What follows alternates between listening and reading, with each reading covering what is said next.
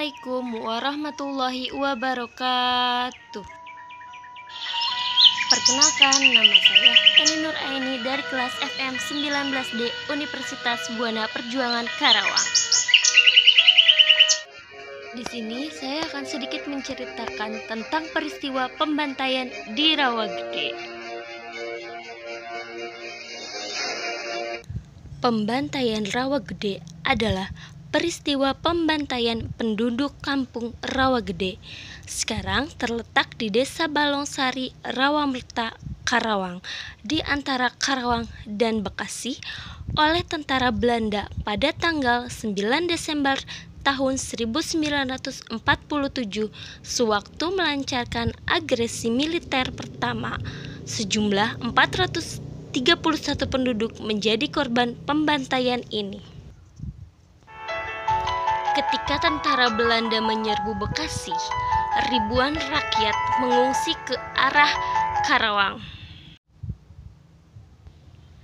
Pertempuran kemudian berkobar di daerah antara Karawang dan Bekasi, mengakibatkan jatuhnya ratusan korban jiwa dari kalangan sipil.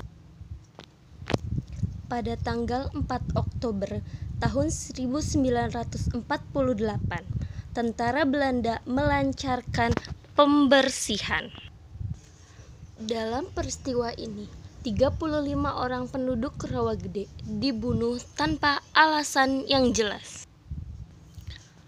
Peristiwa dikira menjadi inspirasi dari sajak terkenal Hairil Anwar berjudul Antara Karawang dan Bekasi. Namun, ternyata dugaan tersebut tidak terbukti pada tanggal 14 September tahun 2011, Pengadilan Den Haag menyatakan pemerintah Belanda harus bertanggung jawab dan membayar kompensasi bagi korban dan keluarganya.